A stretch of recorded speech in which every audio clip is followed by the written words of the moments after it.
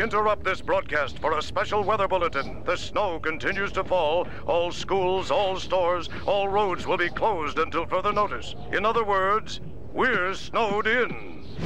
What? Oh no! Gosh, Mickey, if we're snowed in, how are we supposed to get home to our families? Aw, don't worry, fellas. You've got family right here. All of us. Hmm, I always wanted a duck for a brother.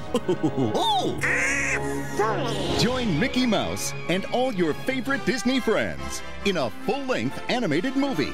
Mickey's Magical Christmas, snowed in at the House of Mouse. Now available on video and Disney DVD.